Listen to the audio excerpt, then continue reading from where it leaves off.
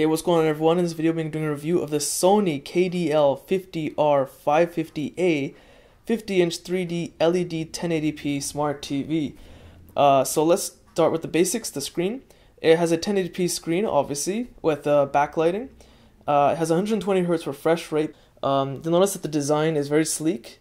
I'll try to show you a better angle. It's uh, passive 3D, which uh, I personally find to work better than, uh, you know, 3D movies in theaters.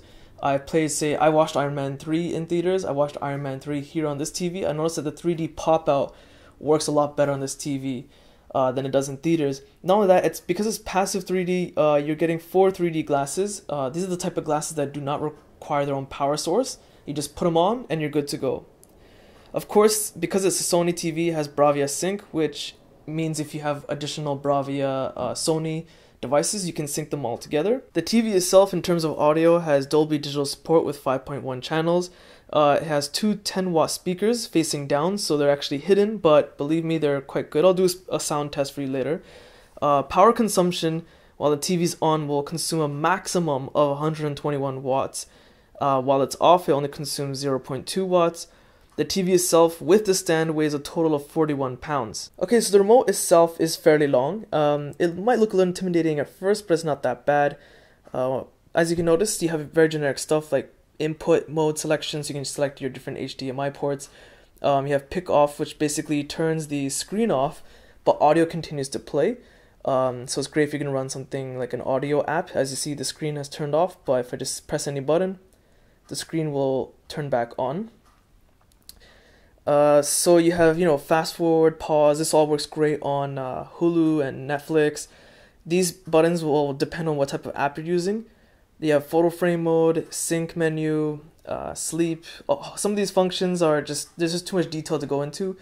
Uh, this is your navigation, display, numbers, volume, channel, and that's pretty much the most important parts. Okay, so I'm off my tripod, so it might be a little shaky cam right now.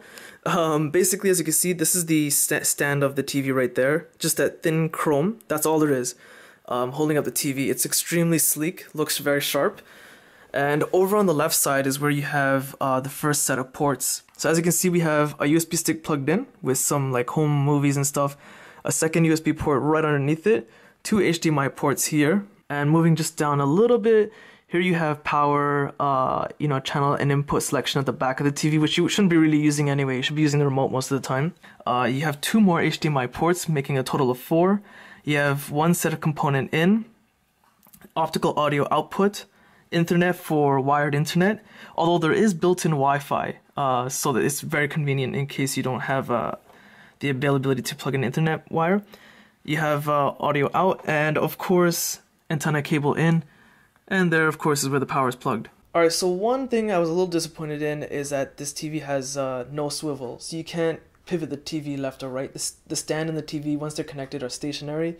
However, I have to say the viewing angles are excellent on this TV, so I'm not really that disappointed. Okay, so selecting the uh, input button on the remote gives you very generic stuff like, you know, selecting your HDMI ports. Um, simply pressing the home button, of course, gives you the smart TV options. Um, here you can go through your settings um, there's actually a power saving mode as well, which is an additional bonus. Here you can go through your setup, you can set up your Wi-Fi, your wired internet, all that good stuff. This is pretty boring and generic stuff, so I'm gonna actually just skip this part entirely. Now for those of you that have DirecTV, uh, according to Sony, as you can see here, um, you can enjoy it without a receiver. This is uh, photo frame mode. It's just your, it's just a, a nice calendar background with some uh, generic music playing. It's sample music playing uh, from the TV itself. Uh, media is basically uh, inputs from your USB uh, stick or your network. You can actually connect to your computer and your network. Now there is a problem with the network connectivity, and that problem is in the fact that files can only be shared through Windows uh, Media Center. So for example, you can't share MKV files. Favorites is just uh, boring stuff. Of course, you have a browser built in as well. There it is, simple browser. Nothing really to see here. So um, I can actually use the remote. I'm actually, it's very faint, but I can actually see which links I'm selecting as I'm navigating up and down, but we'll just you know skip that okay so pressing the home button and then if you go to uh, applications this is like you get a whole bunch of different options here you get a, like a ridiculous amount of apps to go through I can't even begin to start showing you what's available. Uh, but yes, there's also a search function and stuff. But uh, I just want to give you a really rough idea because this video will be way too long if I go into all of them. So internet contents is basically uh, video streaming content. Here you can see this is the most popular generic ones I listed. But if you go to internet video, here you can see the full list that's available. At any point, you can pause the video if you notice a logo that you're interested in. Uh, I'm not gonna list them all because there's just way too many as you can see. It just keeps going on and on and on.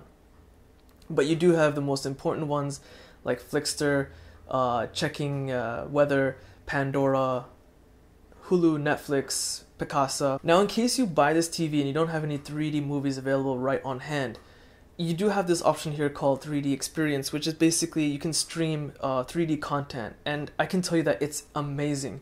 You can stream 3D movie trailers. So I'm gonna go into Hulu just as a quick example because it's really popular, especially in the US. Um, the load time on this thing is fantastic, as you can see. Let's go to my queue profile. Uh, I'll show you a list of favorites that I have with my family.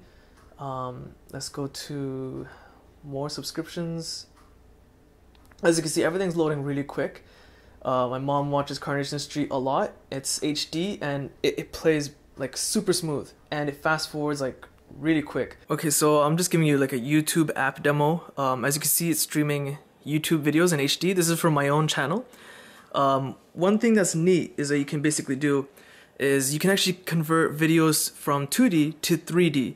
Uh, you simply press the 3D button on your, on your remote and there it says 3D display. Press it and actually you just select simulated 3D. I have to say that this thing does a better job than I anticipated. Um, you know, playing some videos, home videos taken from my wedding, for example. Um, you know, people dancing in the banquet hall. It, you you have some people popping out um, when they're dancing in front of the stage. It's, it's it's it works fantastic. I never anticipated it to work that good. In case you do have a movie that is already 3D ready, um, and the pictures side by side, then you select side by side if you have one on top of the other, then you just select over under. So it, it does a great job. Some apps actually support 2D to 3D. Example, right now I can do it with uh, YouTube videos. I can do it inside uh, Hulu, so I can make Hulu videos um, 3D. It doesn't work in Netflix though, unfortunately, so you can't watch Netflix videos in 3D. but anything on, say, a USB stick, um, it, it can simulate it into 3D and it does a great job. Now, you the thing I find really ironic about this TV is that you can't play MPO files, which is basically 3D pictures. I find this extremely ironic because I have a Sony digital camera, which is recording this video right now, and it takes 3D pictures. The irony is that it's fairly new, um, and this Sony TV can't even play MPO files, even taken with a Sony digital camera. Uh, it's extremely bizarre, but that is unfortunately the case. However, 3D pictures aren't even that great in the first place, but it's still not an excuse. I'm about 15, I'm exactly 15 feet away actually, I measured. I'm gonna do a volume test for you guys. It won't be as uh, noticeable as me sitting here with my own ears, but let me give you a rough idea of how good it is. It's not a power button. The 25. If your phone stops working for whatever reason, it freezes. You can press and hold on the off button. Okay, right now it's at 50, which is only half the volume, and I'm having to kind of shout over the TV, and I'm 15 feet away from it. So speaker volume on this thing is fantastic. So I'm in the 3D uh, Experience app. I just wanted to mention as I'm kind of just going down, showing you how many uh, categories are available. This TV clarity is unreal. It's one of the sharpest 1080p TVs I've ever seen in my life. But when it comes to uh, indoor lighting, you don't get much glare on the TV at all. It's, it's pretty good in that way. For those of you that are wondering which video file formats are supported with this TV, I'll put a list of them in the video description. Just simply expand the video description, then you'll find a list from Sony's official website. Um, what I want to mention is that you'll notice that MKV is not listed there. However, I have played MKV video files through the USB port, so even though Sony says it doesn't support it, it's a bonus that actually it does indeed play uh, MKV videos to the USB port. Okay, there's one thing I want to demonstrate for you guys, or rather lack of uh, being able to demo it. Now this device, this TV, does support Miracast, which basically means I can wirelessly mirror what's on my cell phone or tablet to my TV. Of course, your Android device must support that function. Now, as you can see right now, uh, it has searched and it has found the TV KDL50R550A.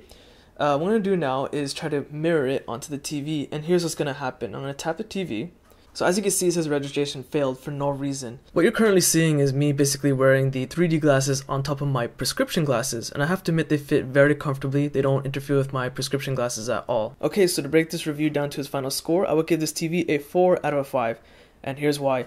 The pros of the device is that basically it's it was a great price, uh, considering it's 3D. The assembly of the TV was unbelievably easy. The 120 Hz refresh rate is outstanding. It's unbelievable how smooth the picture is but I think it's thanks to the uh, Motionflow technology by Sony that makes it even smoother than some of the other TVs I see on the market that have 120 Hz refresh rate. Picture quality is outstanding. It even makes low quality videos and pictures look better than anywhere else I've seen. The volume is pretty decent, as I demonstrated for you guys. It has decent USB media playback, especially considering that MKV is not listed on the official Sony website. MKV files are indeed supported, so it's basically a 3D TV, but also a media player all in one. Converting 2D to 3D works fantastic. In fact, it was much better than I ever anticipated. As for 3D viewing itself, a lot of people are concerned that it strains their eyes. My family and I watched uh, Star Trek Into Darkness, which is over two hours long, I believe, and all four of us, none of us had any strain on our eyes. We we felt fine after watching the movie. The body itself has a very sleek design and it's extremely thin. Then of course there's the option on the remote like Pic Off, which turns the screen off and you want to play Pandora and not consume too much electricity, you can do that. I know I mentioned this just a little bit before, but I want to mention it again. The amount of apps available on this thing is unreal. Now, I know the interface isn't the prettiest, but I'm more about picture quality and functionality, and I think this thing goes above and beyond what's available compared to a lot of the competition out there on the market. And lastly, it is a passive 3D TV, which means you don't need any uh, powered uh, 3D glasses. However, there are a few cons with this TV which prevented it from being perfect. The first is that it cannot play MPO file formats, which is 3D pictures. The UI on this thing isn't that attractive. And lastly, Miracast doesn't work properly. Uh, most of the time. So overall, definitely a TV worth checking out, especially considering its price. So if you found this video useful, check out my website in the video description and Facebook link and Google Plus link. Hit the like button, it does help, subscribe, and thanks for watching.